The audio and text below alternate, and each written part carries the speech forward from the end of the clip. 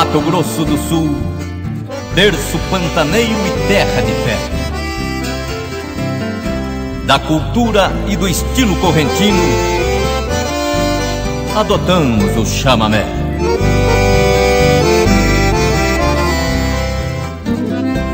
Ah, e você, Secodê, com estilo próprio, rei dos cancioneiros, continua sendo espelho de todos nós, chamamezeiros.